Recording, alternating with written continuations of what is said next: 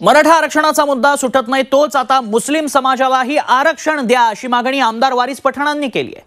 मुस्लिमांना शिक्षणात पाच टक्के आरक्षण द्या अशी मागणी करण्यात येते उच्च न्यायालयानं मुस्लिमांना आरक्षण मिळावं असं सांगितलं होतं. तोच दाखला देत मुस्लिमांना आरक्षण देण्याची मागणी आमदार वारिस पठाण यांनी केल्याचं पाहायला मिळतंय.